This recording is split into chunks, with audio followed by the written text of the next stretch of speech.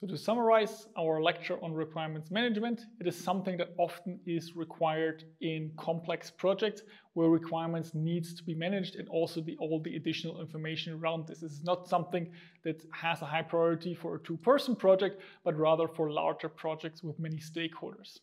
So you're not only managing the requirements, but also all the other related informations that we talked about in the previous slides. Um, another important part of requirements management is a change management process because requirements can change throughout the project. Changes need to be structured and processed, otherwise it gets really, really messy.